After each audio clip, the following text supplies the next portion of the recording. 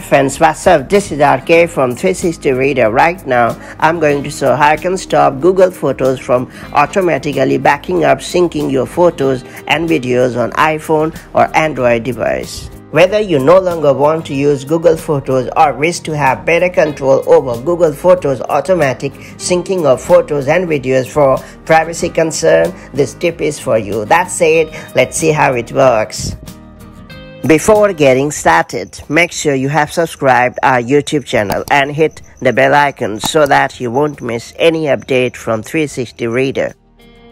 To begin with steps, launch Google Photos on your device and then tap on your profile. After that, you have to tap on Photos settings. Then you have to tap on Backup and Sync. And finally, you have to turn off the toggle right next to Backup and Sync. That's all there is to it. So that's the way you can stop Google Photos from automatically backing up your photos and videos. Of course, if you ever happen to change your mind, all you have to do is simply follow the same steps and then turn on the toggle right next to backup and sync in the end. That's pretty much it. If you have found this guide helpful, do like and share it and I'll see you in the next video with more such helpful tips and tricks. Till then, have a wonderful time. Bye-bye.